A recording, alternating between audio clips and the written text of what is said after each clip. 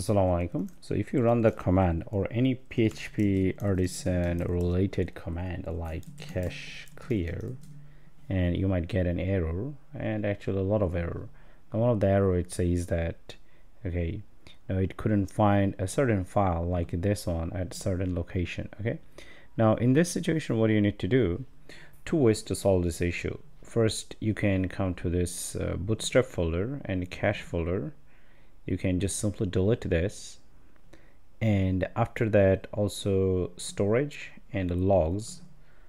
You can delete this two files over here. That's one way to go and it should work. And the way that I like that is command line. So here I would simply do like this rm and then I would do bootstrap cache and config php and that's it. And after that I would run clear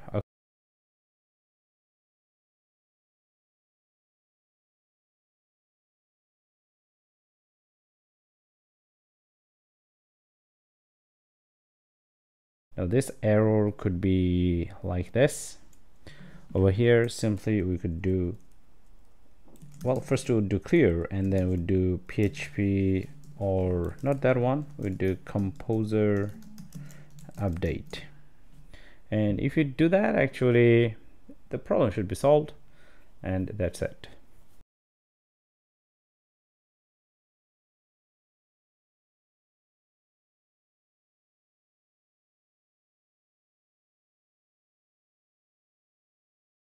done. And after that you can just run php artisan serve. And your server will be up and running.